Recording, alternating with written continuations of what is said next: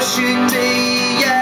Quand on voit la terre de l'espace, on oublie ses problèmes.